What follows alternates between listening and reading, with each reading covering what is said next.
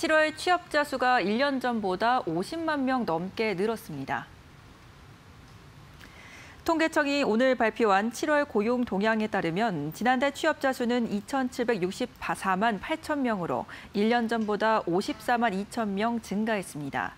이로써 취업자 수는 5개월 연속 증가세를 이어가고 있지만 증가폭은 지난 석 달째 줄고 있습니다. 실업률은 0.8%포인트 낮아진 3.2%를 기록했으며 특히 청년층의 실업률이 2.5%포인트나 떨어졌습니다.